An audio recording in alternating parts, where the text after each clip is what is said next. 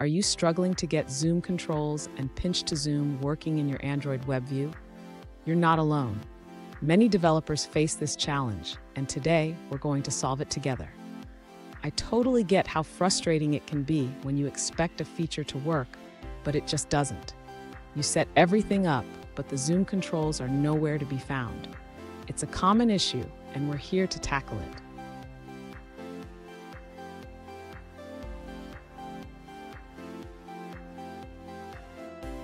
Here's the situation. One user reached out saying they have set up their web view with built-in zoom controls, but nothing appears. They even tried removing the support for zoom, but that didn't help either. Sound familiar? Let's dive into the details. So, what could be going wrong? It might be related to how the web view is set up or how the layout is structured. We'll break down the code and find out where the issue lies. And stick around. At the end of this video, I'll share a pro tip that can help you avoid this issue in the future. To enable zoom controls and pinch to zoom in the Android web view, the user should first ensure that the web view settings are correctly configured. This includes enabling built-in zoom controls and support for zoom.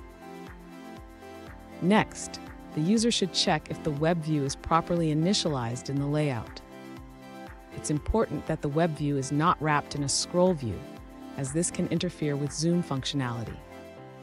In the user's implementation, they should also verify that the web view is added to the layout correctly. This can be done by ensuring that the web view is added to the placeholder layout after it is created. Finally, the user should test the application to see if the zoom controls are now visible and functional. They can do this by running the app and trying to zoom in and out on the content displayed in the web view. Fun fact, did you know that the first web browsers didn't even support zoom?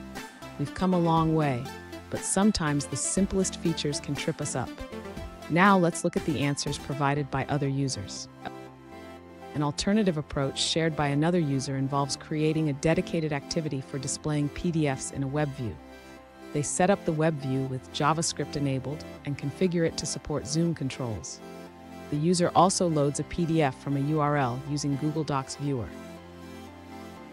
In their XML layout, the user includes a scroll view to wrap the web view, ensuring that pinch to zoom functionality works effectively. This setup allows for a better user experience when viewing PDFs. That's all on that answer. Let's take a look at another one. An alternative solution from a user suggests calling your init UI method after setting the content view. This is important because you need to get a reference to your layout before making changes to the web view settings. Let's take a moment to review another user's answer. An alternative solution provided by another user suggests simplifying your code. They recommend using just two lines to enable zoom controls in your web view. You can set built-in zoom controls and display zoom controls with these commands. Here's the pro tip I promised. Always test your web view in different layouts and configurations. This can save you a lot of headaches down the line. And there you have it. With these steps, your zoom controls should be working perfectly. If you found this video helpful, please subscribe for more tips and tricks on Android development.